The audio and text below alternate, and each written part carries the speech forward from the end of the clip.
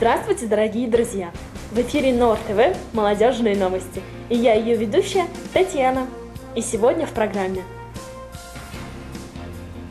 17 декабря состоялся отчетный концерт проекта «Арт-парад».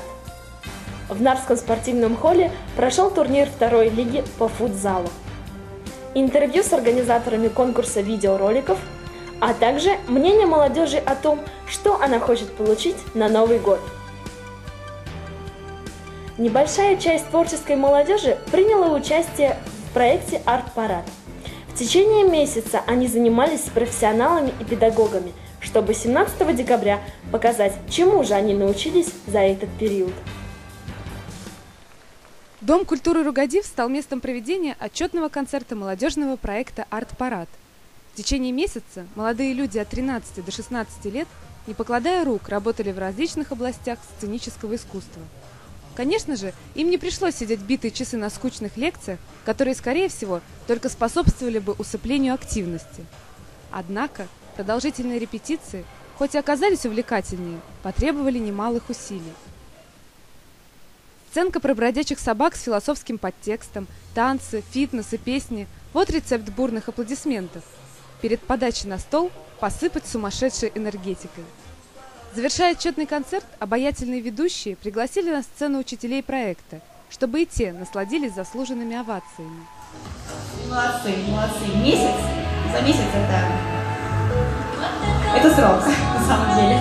Еще бы чуть-чуть, и было бы все отлично. За месяц они молодцы. Знаете, главное на самом деле выходить на сцену с настроением. А научился ты петь или не очень еще, самое главное натянуть ниточку с вами, со зрителем. Я слышала по вашим все удалось в этом концерте.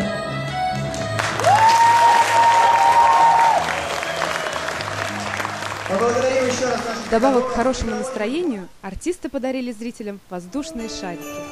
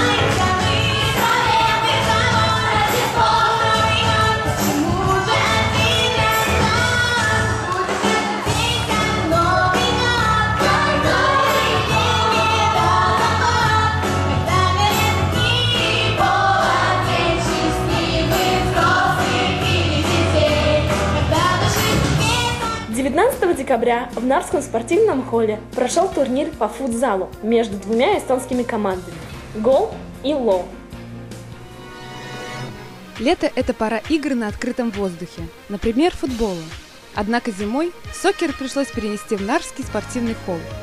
Итак, в вышеупомянутом спортивном холле 19 декабря в поединке сошлись Нарский гол и Таллинский ло. Надо сказать, что норветянам следует гордиться своими футболистами, ведь таллинцев они разгромили со счетом 16-3.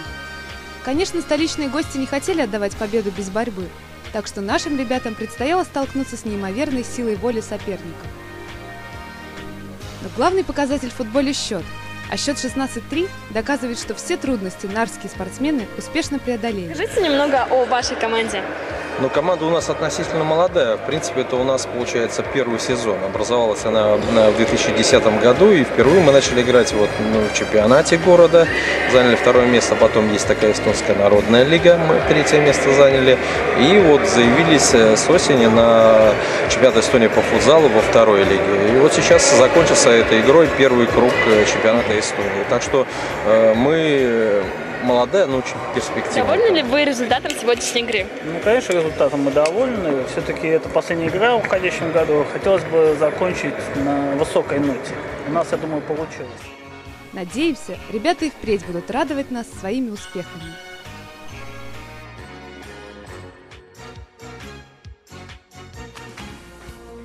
Вы наверняка уже где-нибудь наблюдали такие плакаты. Но что они означают, нам расскажет организатор конкурса видеороликов. Э, здравствуйте. Вы, наверное, уже в своих школах э, замечали появление вот этих афиш. Также их печатали в газете «Молодежка». Э, на этих афишах вас, э, вас приглашают принять участие в видеоконкурсе. Э, в конкурсе принимает э, молодежь в возрасте от 16 до 22 лет. Конкурс этот э, рассчитан на всех, неважно, профессионально вы занимаетесь видео или нет. Цель конкурса – это популяризация молодежного видеотворчества, а также реклама молодежного телевидения, проекта, который активно стартовал в конце этого года. Э, у нас есть э, требования к предоставляемым работам, и они очень маленькие.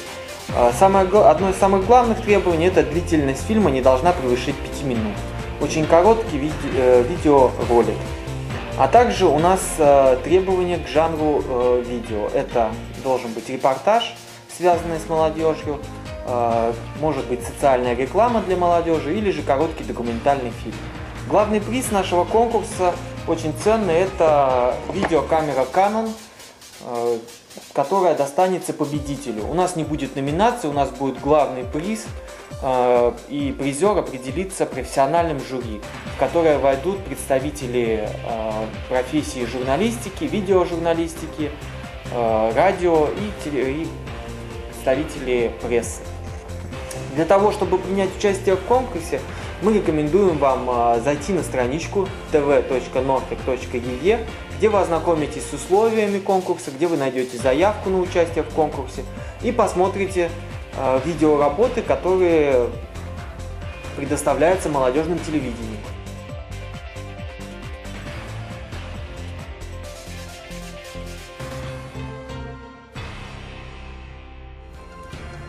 Перед наступающим Новым годом мы решили поинтересоваться, какой подарок желает получить молодежь на Новый год.